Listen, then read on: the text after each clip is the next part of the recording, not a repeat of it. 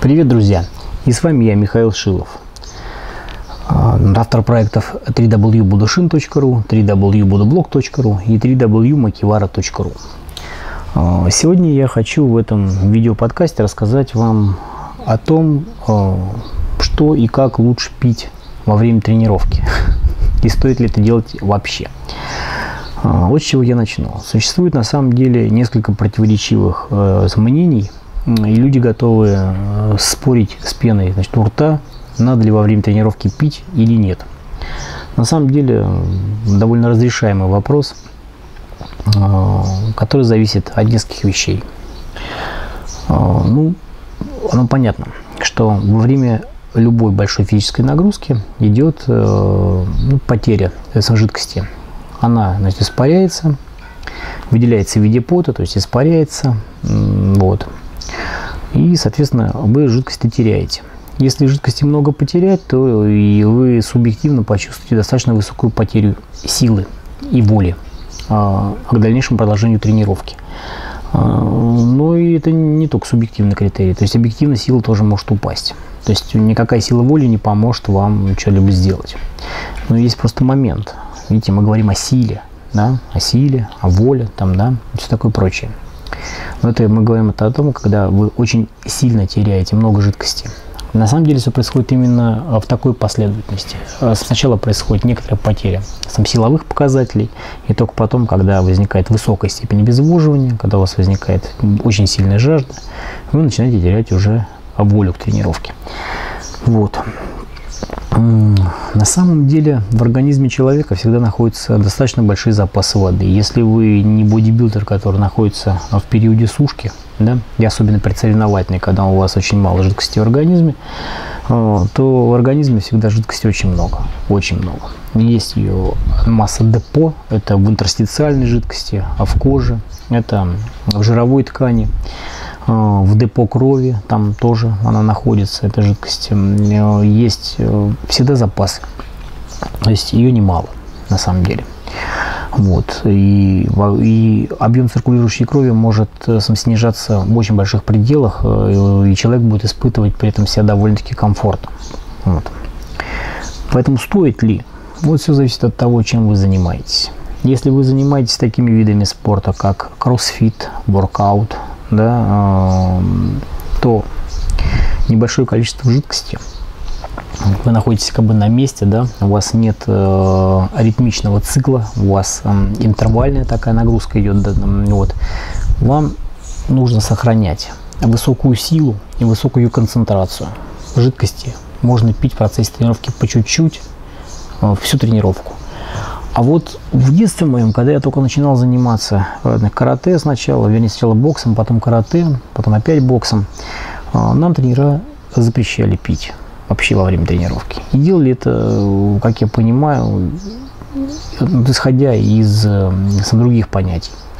Может быть, там попить немножко было бы нормально, но не у всех есть понимание того, что такое немножко и как это. Стоит разрешить только попить, да, ребенку, который занимается в спортивном зале, с него пот там течет, он в туалет выбежит и выхлестает там это полкрана. Или если у него лимонад с собой, он может выпить там полтора литра лимонада в раздевалке. Вот. Не у каждого спортсмена воля есть такая, чтобы просто прополоскать рот и сделать, мару, и сделать пару глоточков маленьких. Вот. Поэтому на самом деле э, есть способ как избежать этого всего дела? Надо брать с собой лимитированное количество жидкости. Кстати, я спорить ни с кем не собираюсь по поводу того, сколько надо пить, много там или мало во время тренировки, или вообще не пить. Я могу и вообще не пить во время тренировки. Иногда я даже так и делаю. Для того, чтобы определенные какие-то волевые качества проработать. Вот. И потом не все тренировки требуют э, незамедлительного э, восполнения жидкости. Например, если я занимаюсь бегом, во время бега я пить не буду. Мне не надо, чтобы у меня булькало что-то в животе. А, и с бутылкой мне бегать неудобно. Если я плаванием занимаюсь, аналогично могу плавать 2 часа, но там, правда, через кожу а, всасывается столько, сколько надо, хотя при плавании происходит потеря веса, это говорит о том, что с потом жидкость тоже теряется. Вот. Потому что если взять импеданс, да, то теряется именно жидкость. Не жировая, не какая-то там ткань, там что-то еще. Ну, там гликоген частично и жидкость. Вот. Поэтому давайте дальше продолжим.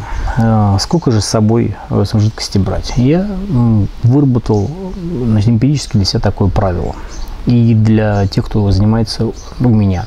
Если человек весом до 90 килограмм, то на полуторачасовую тренировку интенсивную ему хватает пол-литра воды.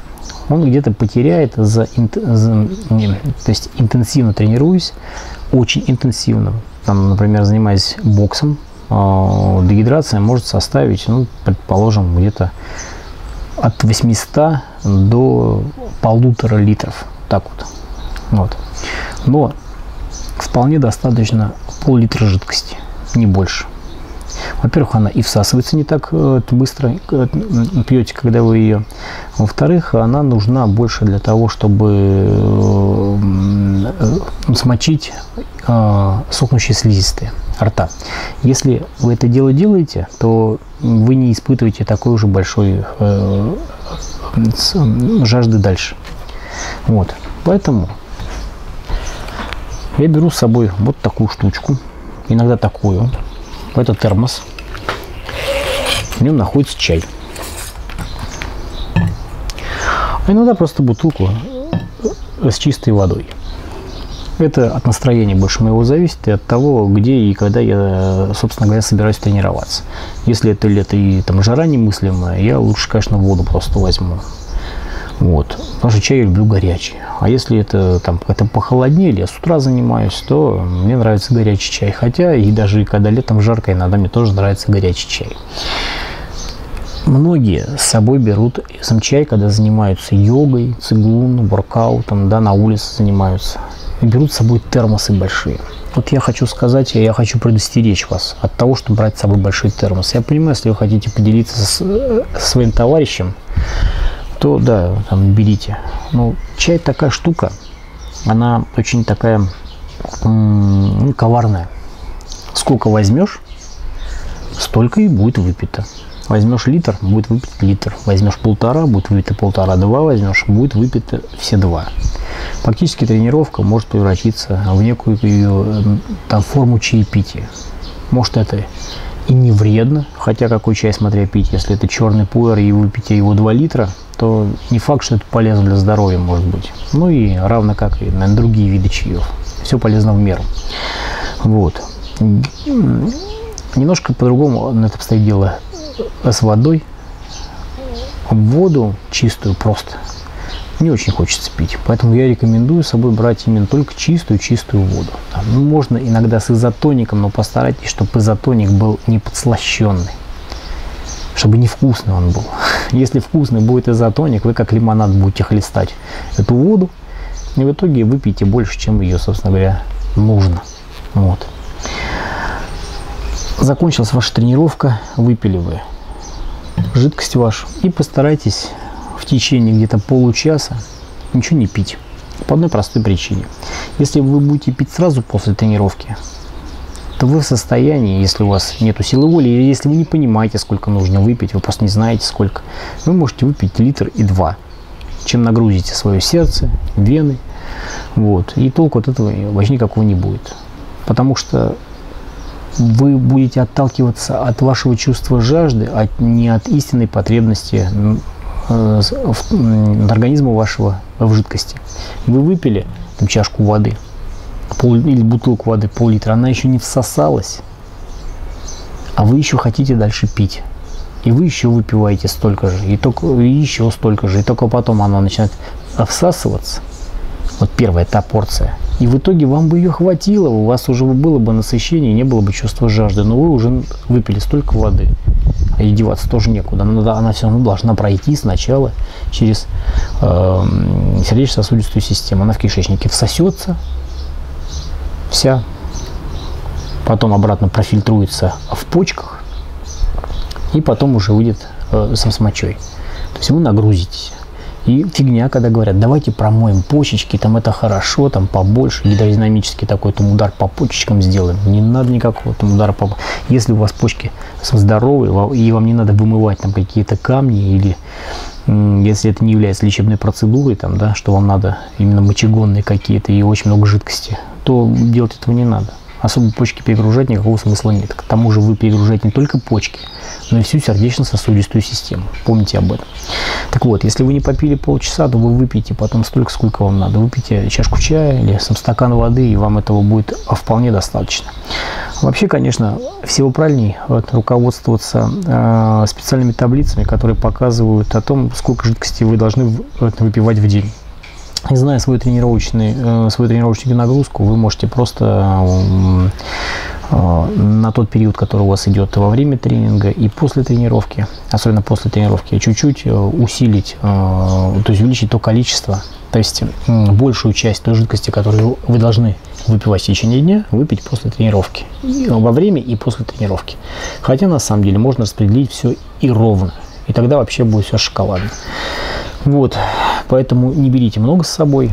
Человеку до 90 килограмм, как я пытался сказать, но, видимо, не сказал, а может, и забыл, что сказал, достаточно пол-литра жидкости во время тренировки, пол, э, полуторачасовой. Точно не сказал. Я заговорил о том, что во время полуторачасовой тренировки теряется от 800 до 1500 э, миллиграмм жидкости. То есть от, 8, э, от 0,8 до 1,5 литра. Вот. Для того, чтобы не испытывать какого-то дискомфорта большого время тренировки, вам достаточно выпивать э, с пол-литра. Если человек больше 90 килограмм весит, можно немножко побольше, да, то есть там, предположим, 700 миллилитров, да. Вот так вот. Пол-литра – это два стакана.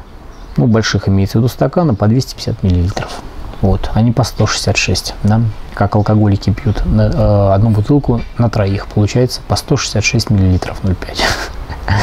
Вот. Так что это вы ну, с того рассчитываете, если вы пол-литра берете, а с вами еще два товарища занимаются, вот у вас даже по 200 миллилитров не будет. Так что, если вы для кого-то берете, берите больше. Если для себя, пол-литра вполне достаточно. Ну все. Вот такой вот у меня подход, который действует уже на протяжении долгих лет и очень себя, скажем так, оправдывает. Я могу посоветовать вам просто воспользоваться моим вот, методом. Если у вас есть какой-то свой, то делитесь.